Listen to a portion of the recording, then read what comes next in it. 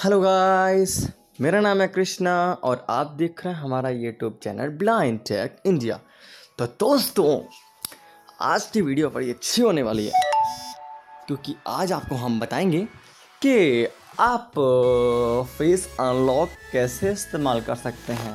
Right सुना आपने? Face unlock है ना? सो फेस अनलॉक फीचर मतलब इस काम आता है, जैसे हम अपने फेस से डिवाइस को डायरेक्टली अनलॉक कर सकते हैं, है ना?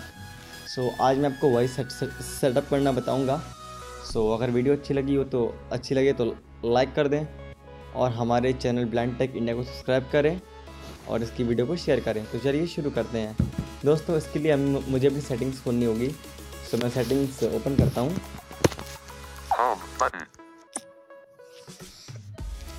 Page 2. Microsoft. Me Music. Microsoft. Notes. Me Video. Music. Me Notes at Microsoft. Set. Settings open हो गई है Settings. अब यहाँ पे मैं स्लाइड करते करते आना लॉक स्क्रीन एंड पासवर्ड में ओके सो मैं ढूंढता हूँ Search. About phone. MyWii Global 10. System apps updater. 1. Secure. Wireless. SIM. Wide. Boot. Portable. Data. More. Person. Display. Wallpaper. Theme. Sound. and System and device. Lock screen and password. ये जाना है guys lock screen and password Back. Button. Manage fingerprints. Manage fingerprint. Tap to Face open parents and lock screen password. Lock screen and pass. अब यहाँ पे एक option का आएगा add face data ये है ना ऐड फेस डेटा यहाँ आपको डबल टच करना है।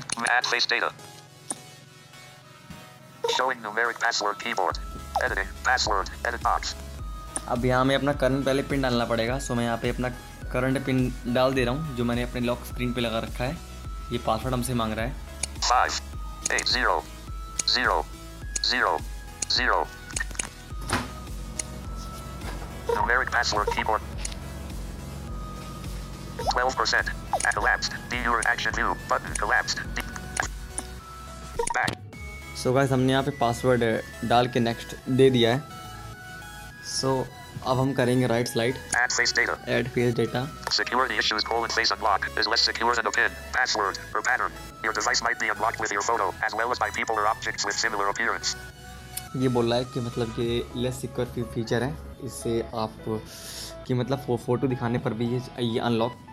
कर देगा या फिर बैकग्राउंड वगैरह। ओके सो ठीक है। अग्री है भाई।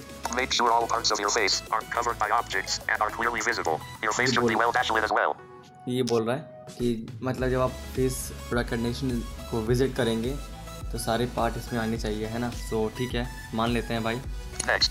नेक्स्ट कर देता हूँ।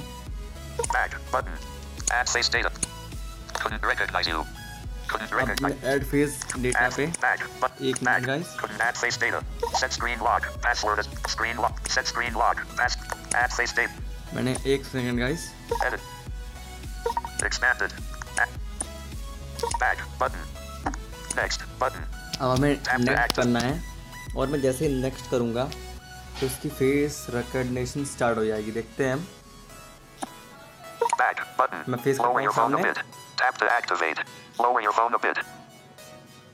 Lower your phone a bit. Lower your phone a bit. Lower your phone a bit. Lower your phone a bit. Lower your phone a bit. Lower your phone a bit.